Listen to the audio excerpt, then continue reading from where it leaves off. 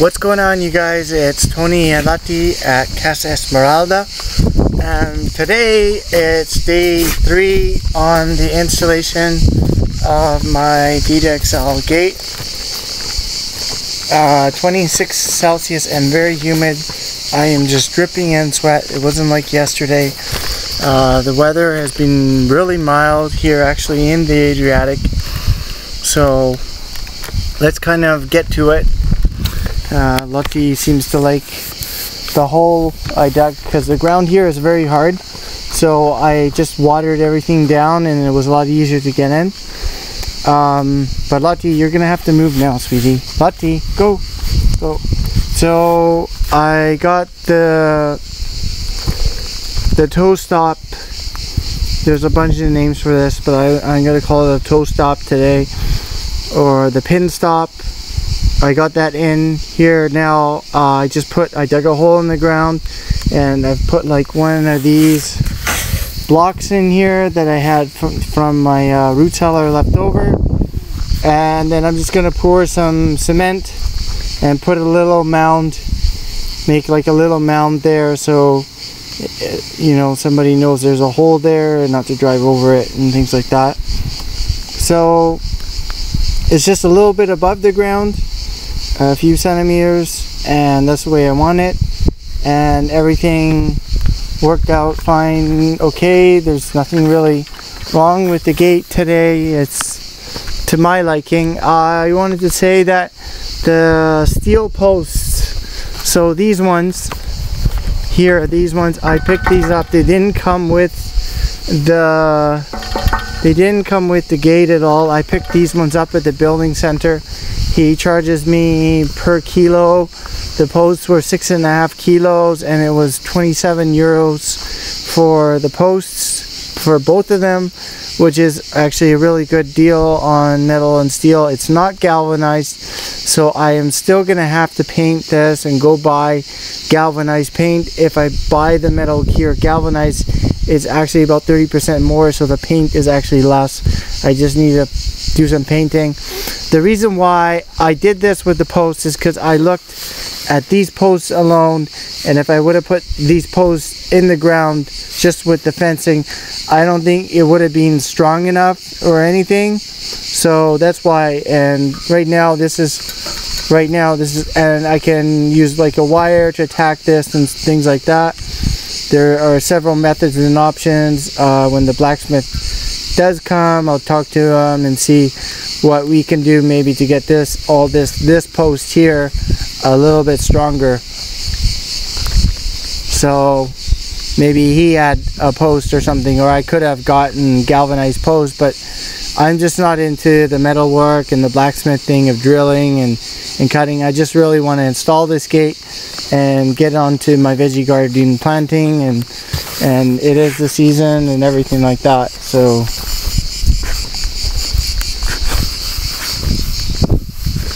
but in all um, I just I like the style now. Um, I've had several a few people drive by this morning and that and they're all looking and they say they like this style they like how it is and everything right? So so it's just a matter of me just mixing up a half a bag of cement here and then making a little bit of a mound and then that's basically done. And I kind of just put the dirt and stuff here. This will all sort of go down. It'll go back to white. After the rain comes it'll just wash everything back to its normal white of clay and really hard rock around here. It's really hard to dig especially this this part of my driveway here. So so in all I would say if there was two people working at it you could probably do it in a day and a half. Uh, if there was one person like me doing this alone, uh, it would be two full days work. I have not put every hour from like 8 o'clock till 6 p.m. or something like that later on into the day to install this gate myself.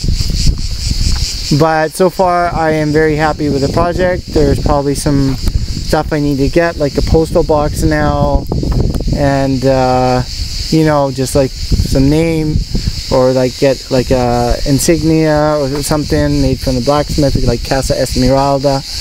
All these things you can do with a gate and stuff.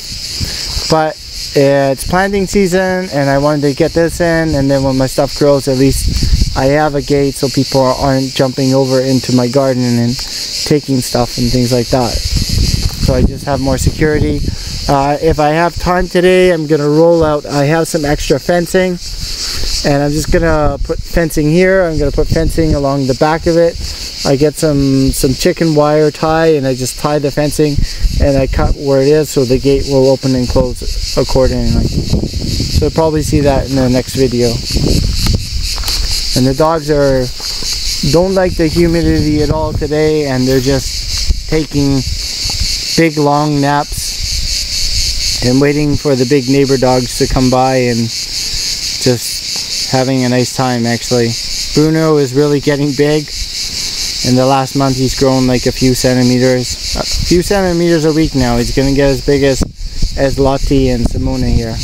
Anyways, going back to my gate. So there it is with the pin stop in there and uh, it's a matter of me now pouring cement, uh, mixing cement. It would be like 20 minutes and then clean up and things like that. And a lot of people don't like pouring cement. They buy the foam, everything like that. But I am a cement person. I don't mind doing it. And the cement here is actually really Italian cement is really good. And I really uh, like mixing this type of cement. And it's it's really easy to mix. Uh, take me about six minutes for a half a bag. And I'll be done within an hour and clean up and I'll be probably rolling out this fence. So I really want to get started on that today and just get this project out of the way and then done and then work on my garden because my irrigation kit for my back garden here, the garden that's way in the back actually arrived. So that's all on the next videos um, coming up and planting and things like that. but looks beautiful with these olive trees here. So and then the dogs won't be getting out. Uh, the chickens tried to get out yesterday. Uh, so I'm gonna put chicken wire around the back and then tie it to the fence and that sort of thing. So make this place all secure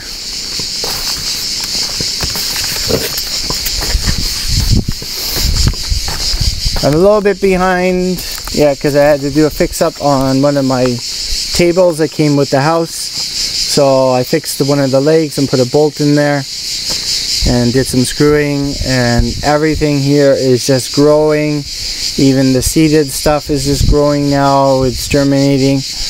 So uh, it's not a very hot summer as it was last year. Anyways, um,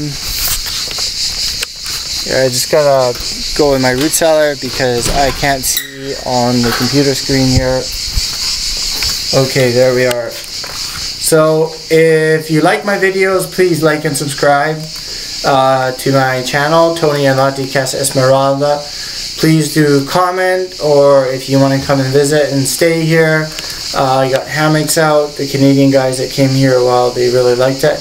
And uh, okay, so thank you very much for everything and those who are sending me messages and those who are liking my channel or sending comments or have subscribed and bye for now